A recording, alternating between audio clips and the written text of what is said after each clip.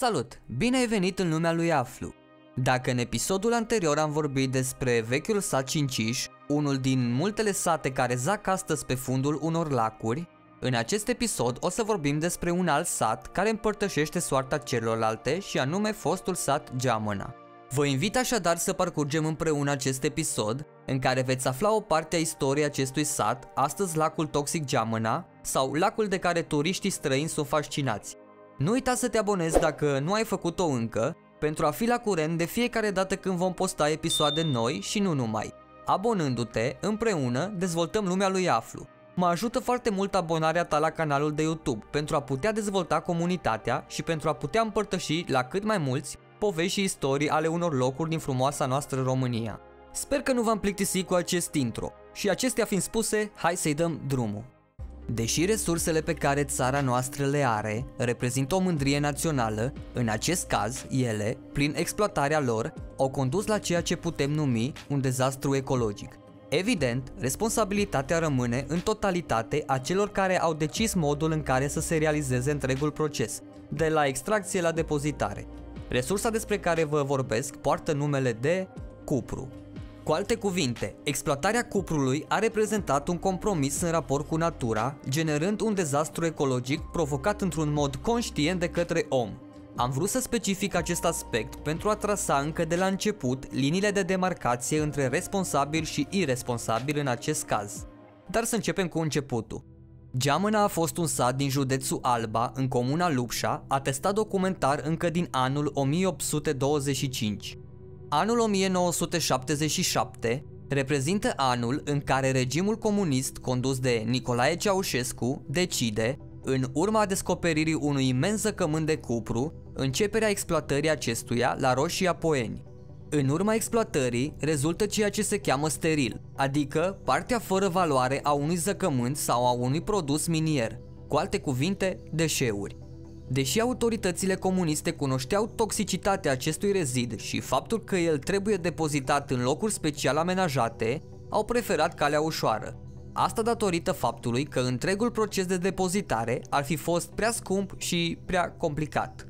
Alegând calea ușoară, au hotărât deversarea rezidurilor într-o vale, numită Valea Șesii. Așadar, valea a devenit depozit de material toxic, S-a construit un baraj în acest sens, iar treptat a început să se formeze un iaz toxic care făcea ca pământurile oamenilor din apropiere să fie aride și copacii să se usuce. În anul 1980, adică la 3 ani de la începerea exploatării, autoritățile comuniste au decis ca cele 300-400 de familii din Geamăna să fie expropriate și să primească sume în funcție de proprietăți.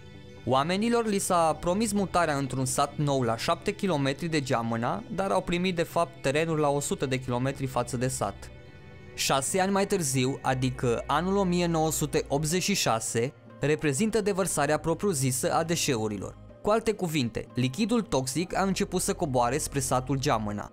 Satul nu a fost cufundat în steril imediat, ci treptat, an de an, și astfel, satul a fost transformat în lac de decantare și acoperit de steril. 400 de case, cimitirul, biserica trei ierarhi și pământurile oamenilor se află astăzi sub toxicul lac de decantare. Astăzi, de asemenea, se poate observa turla bisericii construită în secolul XVIII, ea rămânând la suprafață datorită faptului că lăcașul de cult a fost construit pe un deal, la 100 de metri mai sus față de sat. Și dacă ați crezut că asta e tot, nu e. Chiar și astăzi, anul 2022 în care vă vorbesc, lacul toxic continuă să crească. Nivelul sterilului nu a ajuns la saturație, iar în câțiva ani, turla bisericii va fi acoperită complet. Asta deoarece, printr-o țeavă imensă, continuă să se scurgă neîntrerupt deșeuri de la Roșia Poieni, iar rezerva de cupru de la această exploatare este estimată la peste un miliard de tone. Concluzia o trageți voi. Ce e cert e faptul că lacul crește cu aproximativ 90-100 de centimetri pe an. Probabil vă întrebați de ce este toxic. Ei bine, lacul conține cianură care este utilizată în procesul de extracție. Apa lacului toxic este împărțită în trei zone. O zonă cu noroi unde țevile degajează toate substanțele dăunătoare, o zonă cu apă turcoaz și o zonă cu apă roșie.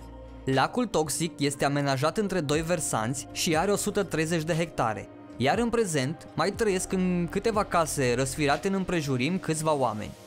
În încheiere, aș fi vrut să vă povestesc puțin despre exploatarea de la Roșia Poieni, dar consider că dacă aș spune doar puțin, aș ocoli voit un subiect care merită dezvoltat mai pe larg, fiindcă am găsit niște hibe în privatizarea acesteia. Și oricum am niște idei despre o viitoare serie de episoade.